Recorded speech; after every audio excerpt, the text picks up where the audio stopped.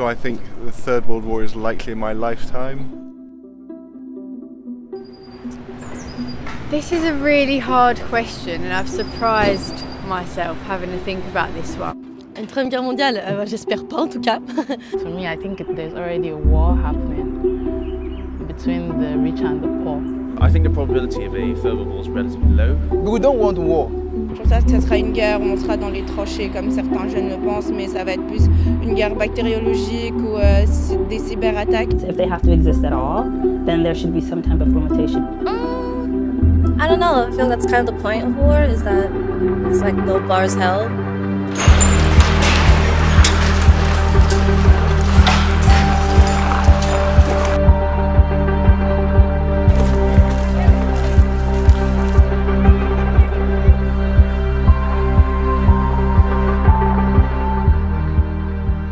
Éliminer la guerre, je ne sais pas si c'est possible. Parce que depuis que l'homme existe, les guerres existent. Depuis la préhistoire, ça existe. Les conflits existent.